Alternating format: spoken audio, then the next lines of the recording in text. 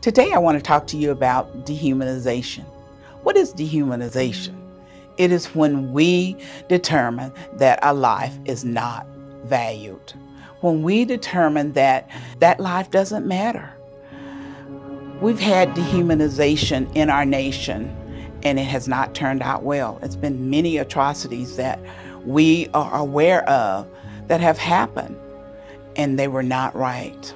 Margaret Sanger was a eugenist and a racist, of course, who determined that black lives did not matter. And she wanted to eliminate people who looked like me.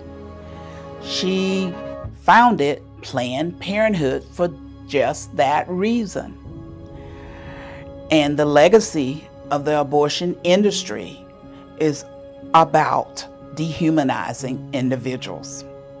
They want us to believe that lie that our babies don't matter, that our babies in the womb do not matter if they're not planned, if they're not wanted, if they're not socially economically well off, if they're not seemingly able to do things, that they are not important. They are. We are important.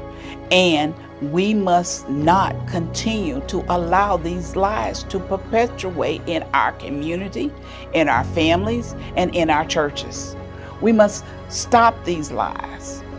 You know, I work with young ladies every day that I help them to understand the value of their babies in that womb, that they are valued, that they do matter, that it is important that we continue to, to not dehumanize these babies in the womb.